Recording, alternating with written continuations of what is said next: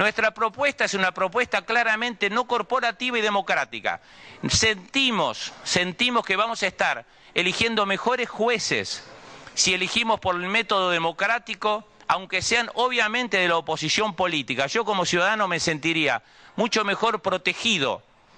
si la oposición gana esa elección y elige jueces, abogados y académicos ¿eh? por millones de votos, me sentiría mucho mejor protegido que si fuera a través de un sistema corporativo en donde votan 700 jueces, 700 jueces, ¿eh? en donde votan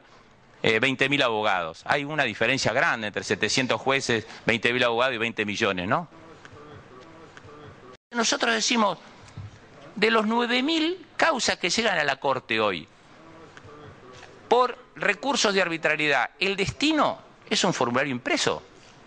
que dice no al lugar, es la plancha, plancha famosa del 280, no al lugar por improcedente, esa es la justicia que nosotros pretendemos al país.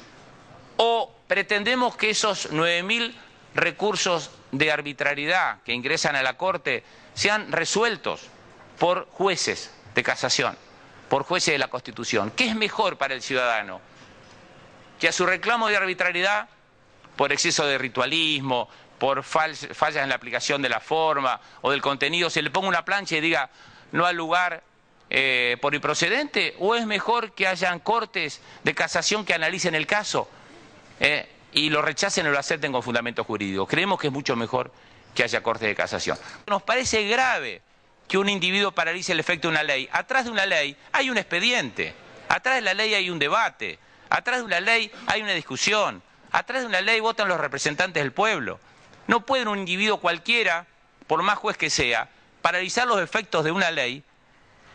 y que la apelación sea con efecto evolutivo y deje suspendida una ley de la nación un año, dos años, tres años, cuatro años, ocho años.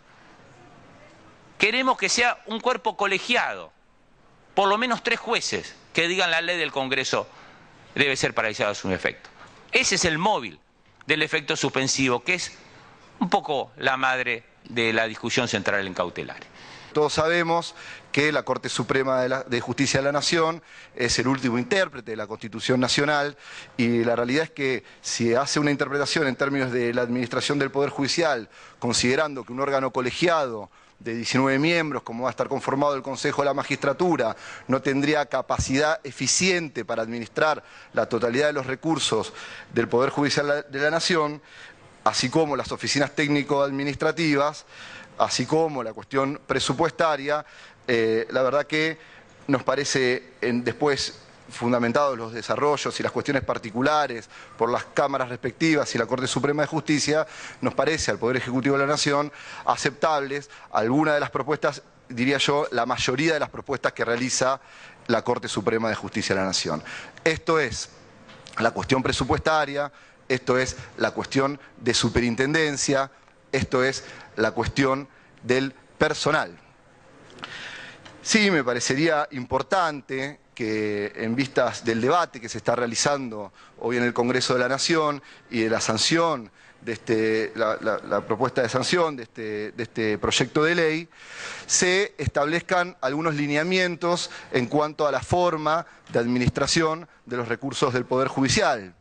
Y en este sentido, eh, nuestra propuesta es que se incorpore la posibilidad de que se administre